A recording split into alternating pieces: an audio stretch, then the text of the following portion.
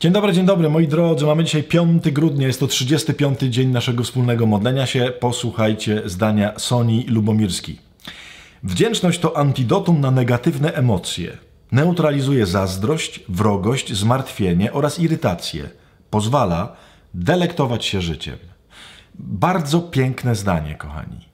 Serce, które stara się być wdzięczne, naprawdę usuwa z siebie te rzeczy, o których tam była mowa, czyli zazdrość, wrogość, zmartwienie, irytację. Im więcej będzie wdzięczności w Twoim życiu, tym mniej tego będzie. Dlaczego? No bo zobaczcie, na przykład, jeżeli są jakieś rzeczy, które Was irytują, ale jeżeli spróbujecie do nich podchodzić z wdzięcznością, wiem, wtedy mamy irytację, a nie wdzięczność, ale coś Cię irytuje, tak mówisz, Panie Boże, Dziękuję Ci za tego gościa, który jest w sposób taki wkurzający i w ogóle tak mnie nosi, ale w ogóle to dziękuję Ci, że go stworzyłeś.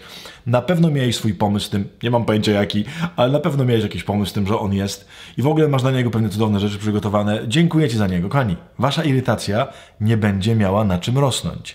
Tak samo jest ze wszystkimi innymi, innymi rzeczami. Gdybyśmy nieustannie swoje życie faszerowali wdzięcznością albo wszystkie te trudne sytuacje dokładali do nich wdzięczność, zobaczycie, tamte inne rzeczy będą maleć. I to nie chodzi oczywiście o oszukiwanie rzeczywistości, o udawanie, że coś mnie nie irytuje. Nie, tylko jak coś ci irytuje, dziękuj za to. Zazdrościsz, dziękuj. Boże, dziękuję Ci, że on ma taki cudowny samochód, ma taką fajną żonę i tak dalej. Wiem, to jest strasznie trudne. Uwaga, to odmienia serce. No to dzisiaj dziękujcie, żeby odmieniać swoje serce. Modlimy się, a nie lenimy się. Dobrego, modlonego dnia i do jutra.